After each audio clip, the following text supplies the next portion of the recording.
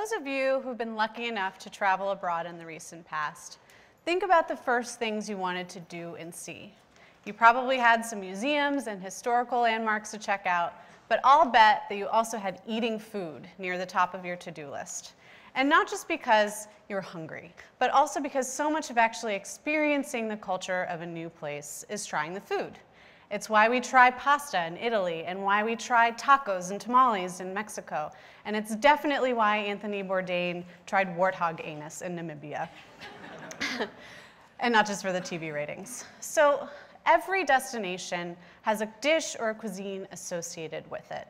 And that's because food is so deeply tied to our culture and our identity. What we cook is an expression of who we are and where we come from. And when we're traveling abroad, trying the food from that country is a great way to experience the culture firsthand. In the same respect, when you're moving to a new country, cooking and eating the food from your home is a great way to feel connected and nostalgic about that place and bring you back to your roots and your foundation. Sharing that food with other people can instantly connect you to people very much unlike yourself. Commensality is a stepping stone for building friendships and communities and strengthening ties between disparate groups. So today, there's also a growing trend among governments in middle power countries to create government-funded gastrodiplomacy programs, which basically serve as a tool to introduce the cuisine of a country to a foreign audience in order to gain awareness for the country itself. So as our world becomes increasingly globalized, cooking and sharing food have become powerful tools for preserving culture outside of its cultural and geographical context.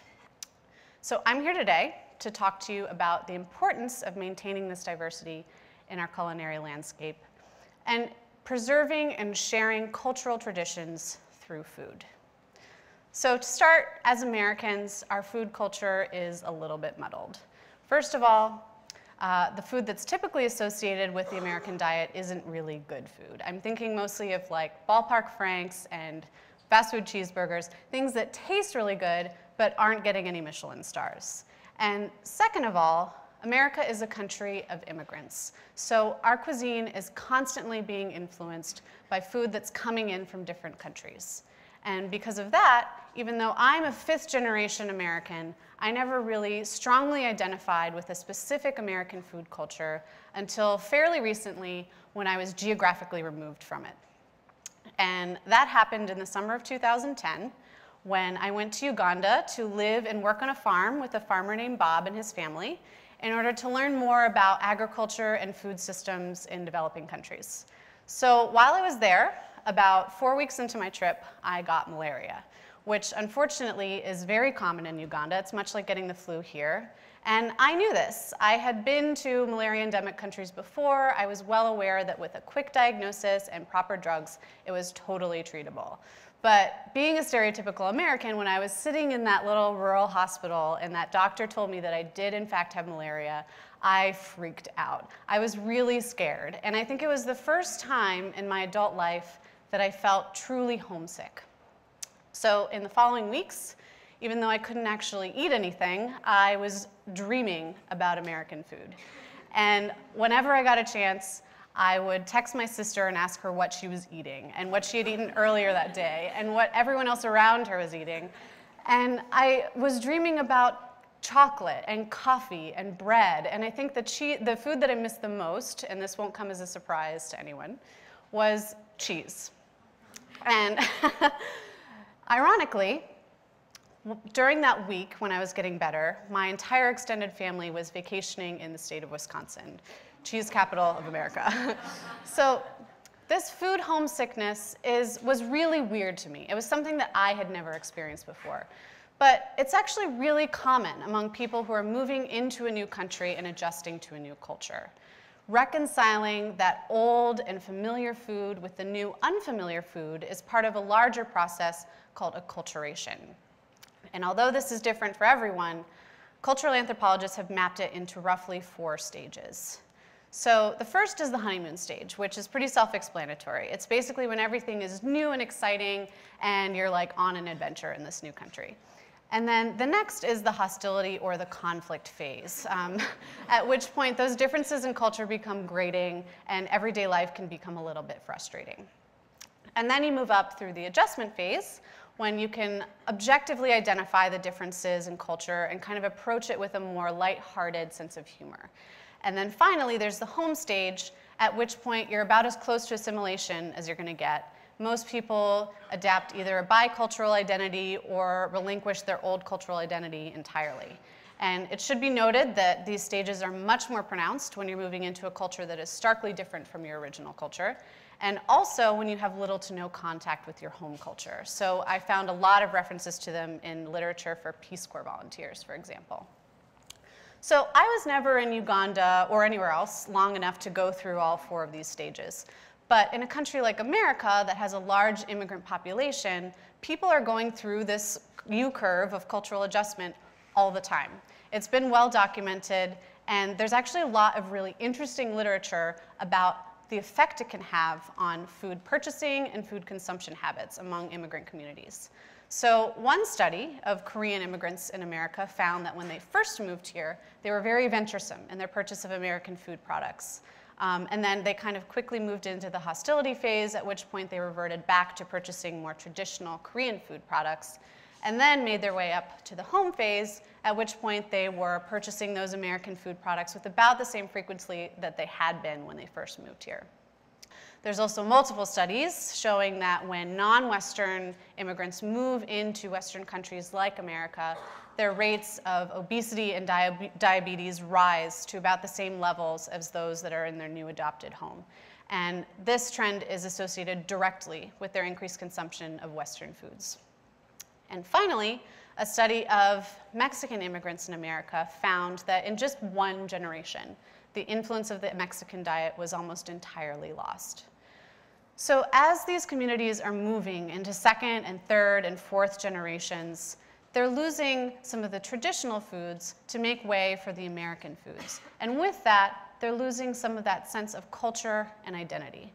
And this experience was actually illustrated beautifully in a recent New York Times article in which the author herself and the subject she interviews discuss desperately trying to hold on to those recipes and culinary traditions from their parents and their grandparents in order to maintain a connection to family and to their home country.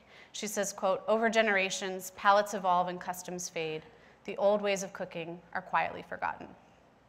So in an effort to kind of curb that loss of cultural capital, as social scientists like to call it, uh, me and two of my friends from graduate school, Ryan and Pete, started Global Kitchen which is a social enterprise that hosts immigrant-led cooking classes. And our classes are based in the New York City area, and all of the chefs that we work with teach the cuisine from their home country. So they'll be, they'll be home cooks, and they'll sometimes be classically trained, trained chefs. But they always teach traditional foods to our students that are common in their countries of origin. Some of these foods are well known to an American audience, such as Filipino adobo, and Indian curry. And some you'd be hard pressed to find in any restaurant, even in New York City. A good example of that is Egyptian koshery, which is actually incredibly popular in Egypt, but because it's so labor intensive and there's so little demand for it in the United States, there's no real justification for serving it in restaurants here. So one of the things that we really like to emphasize in our classes is the cultural and historical traditions and context behind the food. So this can come from a chef instructor talking about cooking this particular dish with her parents and her grandparents when she was growing up, or it can mean talking about trade routes and a history of colonization and how those influenced the dishes and the ingredients in a particular country.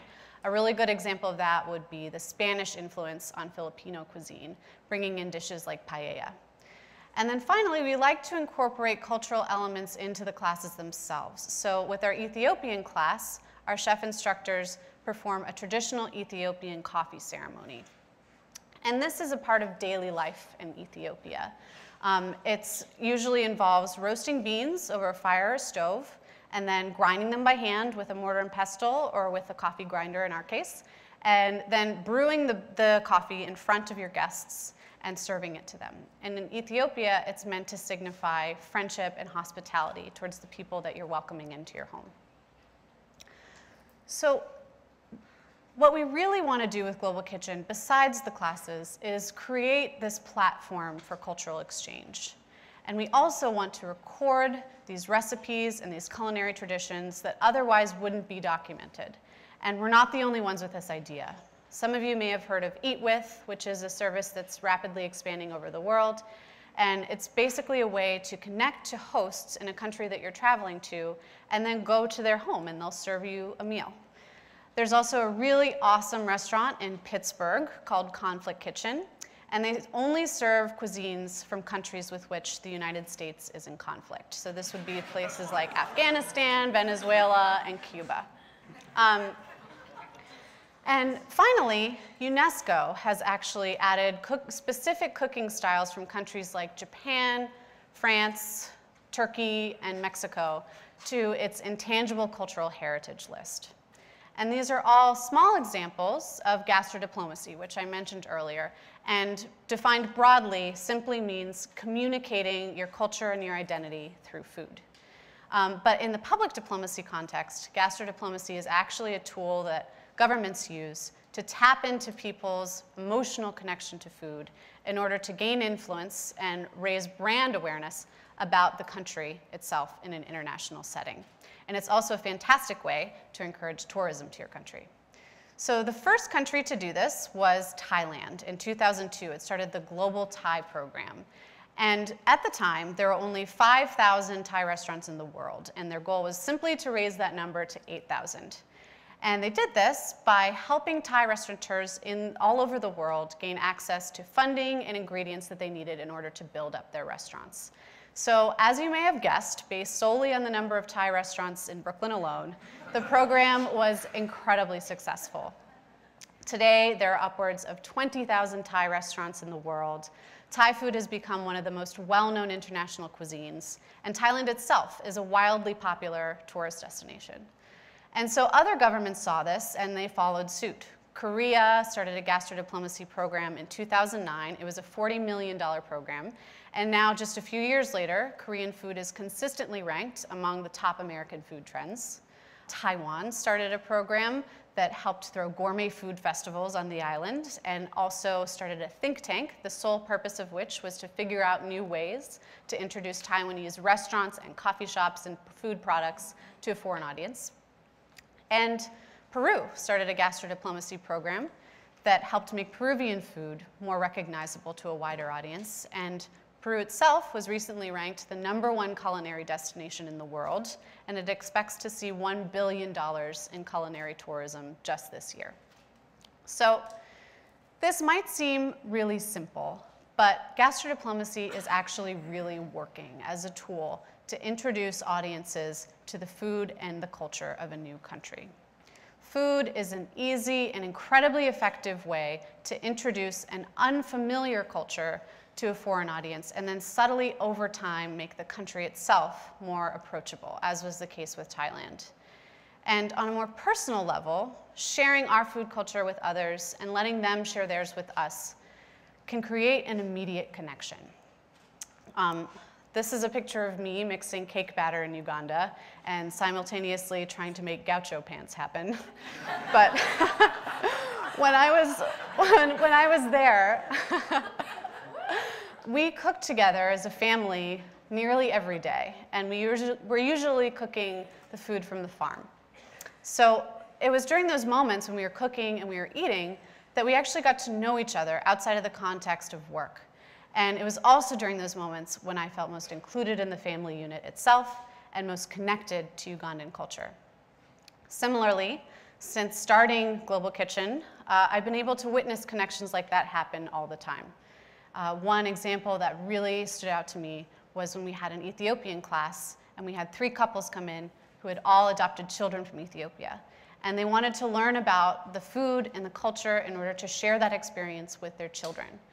I thought it was a really wonderful example of what Global Kitchen is trying to do, and it inspired me to continue working to preserve culture through food.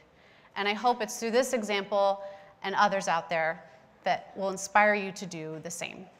Thank you so much.